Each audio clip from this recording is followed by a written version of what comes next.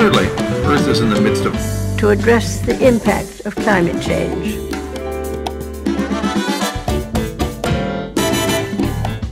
The world is changing. Faster, brighter. with abrupt and irreversible, both coming from the very conservative Intergovernmental Panel on Climate Change. Can't get back to the old climate state.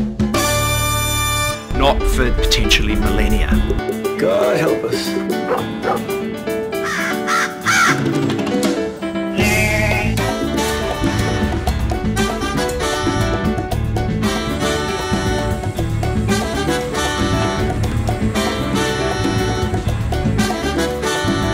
Seven out of the world's ten biggest ports are in China.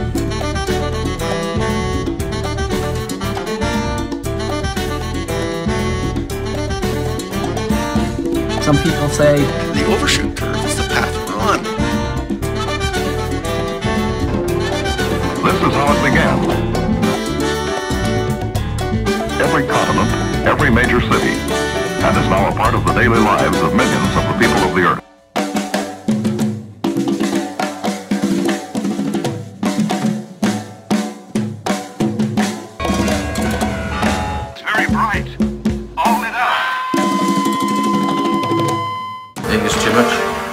The world is facing, as you know from headlines, Really bright people just don't understand that there is a limit. And it's full of lots of buzzwords and, and, and, and psychology stuff and sociology stuff, and that's all grand and interesting.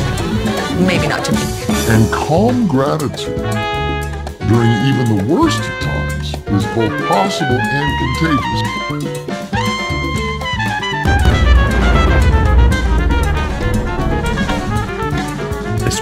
Was one of our hypotheses. The situation may not last forever. Did you think you could just continue to do what you wanted without consequences?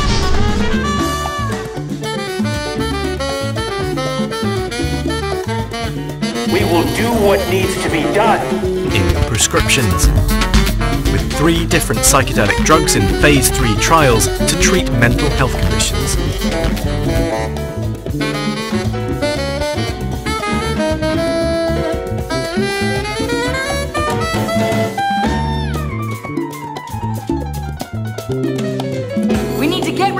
We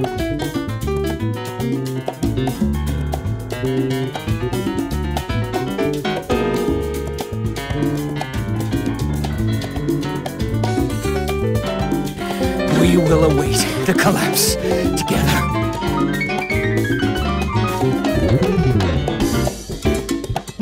You can't handle the collapse is upon us. It's unbelievable how I think part of the reason we're failing is that we ask what is politically possible more often than we ask what is necessary.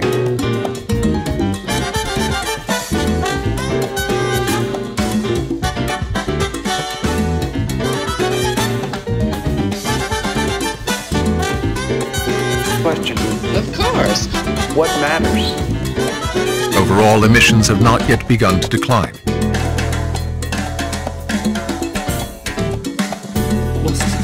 So what?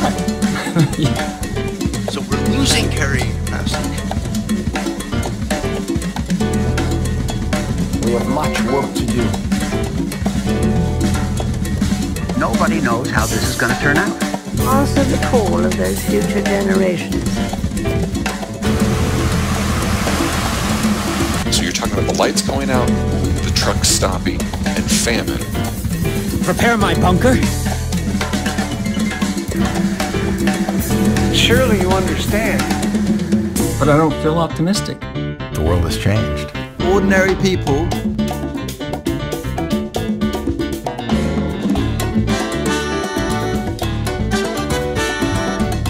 And perhaps we could see similar scenarios elsewhere. Essential wisdom for hard times. And now the bill has come due. Losing carrying capacity because we're living by eroding the biophysical basis of our existence.